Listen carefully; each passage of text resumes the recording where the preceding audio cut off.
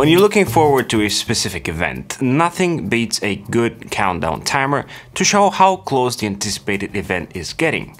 There are many services to use to set up timers, but I appreciate tools that are simple to use while looking stylish and neat. Today I'm going to show you a great countdown timer called Waiting List.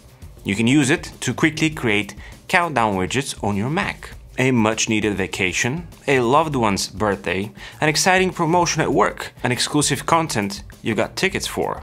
You can count the days, hours, and seconds to anything that you're excited about. The waiting list app doesn't get in the way, but it is easily accessible whenever you need it. You can create as many timers as you want and choose a custom skin for all of them thanks to the vast collection.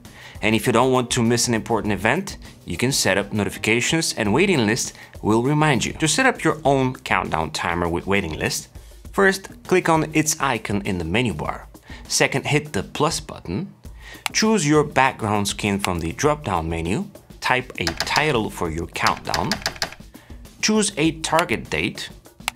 Copy and paste a URL link if necessary. And press the check mark to save it.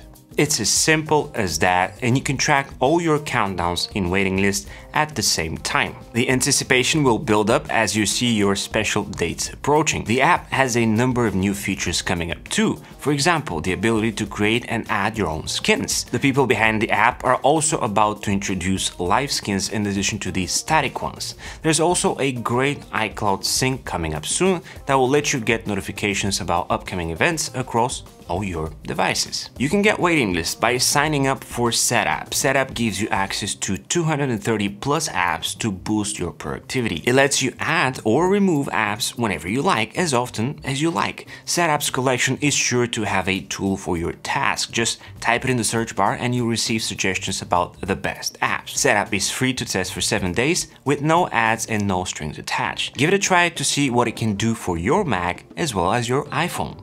If you have any questions about waiting lists or Setapp, just ask them in the comments below. Until next time.